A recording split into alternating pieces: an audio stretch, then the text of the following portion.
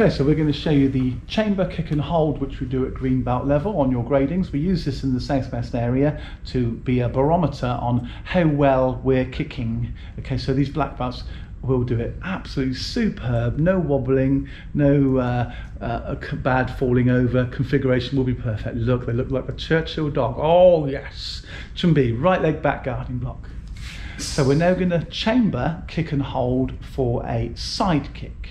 Hana! Knee up, beneath foot beneath the knee, and kick and hold, sword edge, and relax. Change the leg. Notice he went back to the starting position, then we change legs, obviously moving the opposite leg back. Now the dodgy leg. Chamber, knee beneath the foot beneath the knee, and push the leg out, side kick, and relax change legs, right leg back, and we're getting the angle correct for the turning kick.